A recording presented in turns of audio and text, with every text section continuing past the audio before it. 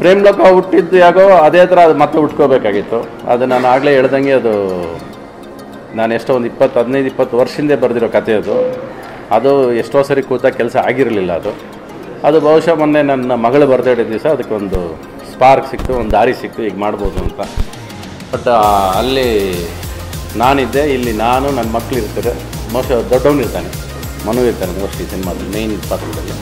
ಚಿಕ್ಕವನಿಗೂ ಒಂದು chances mostly ನನ್ನ family ನಾವು ಮೂರು ಜನ ಇದ್ದರೂ ಇರ್ತೀವಿ ಸಿನಿಮಾದಲ್ಲಿ. ಅದು ಇನ್ನೂ ಮ್ಯೂಸಿಕಲಾಗಿ ಡಿಸೈಡ್ ಆಗುತ್ತೆ. ಬಟ್ ಮೇಯ್ನ್ ಅವನು. ಮನು ಮೇಯ್ನ್ ಆಗಾಗ್ತೀನಿ